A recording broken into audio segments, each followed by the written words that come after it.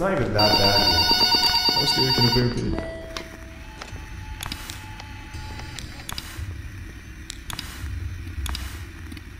goes on earning your position here as security personnel. We know it's a big deal, so don't worry. We'll make sure you're equipped with the right tools necessary to complete this job. So with that being said, let's get you acquainted. First of all, in your office, there are two important things to know. Number one,